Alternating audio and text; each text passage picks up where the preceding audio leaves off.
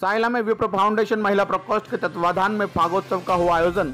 फूलों से होली खेलकर पानी बचाने का दिया संदेश। विप्र फाउंडेशन महिला प्रकोष्ठ जालोर द्वारा रविवार को साइला कस्बे के दुधेश्वर महादेव मंदिर बगीचे में फागोत्सव मनाया गया।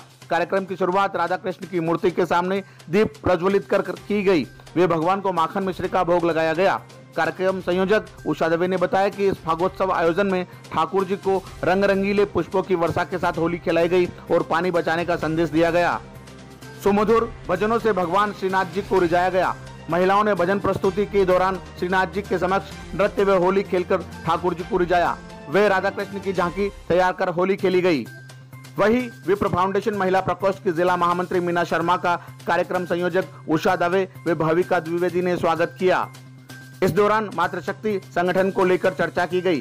कार्यक्रम में विप्र फाउंडेशन ब्लॉक अध्यक्ष कन्हैयालाल त्रिवेदी व महामंत्री सुखदेव सिंह राजपुरोहित ने भी कार्यक्रम को संबोधित किया। इस दौरान लता त्रिवेदी, मंजू दवे, संगीता त्रिवेदी, पूर्णा दवे, मधु दवे, दीपांजलि पांडे, तरुणा राजपुरोहित, गायत्री दवे, देवकन्या दवे, सविता रावल सहित मातृशक्ति मौजूद रही। नवभारत समाचार साइला जालोर से मनीष दवे की रिपोर्ट।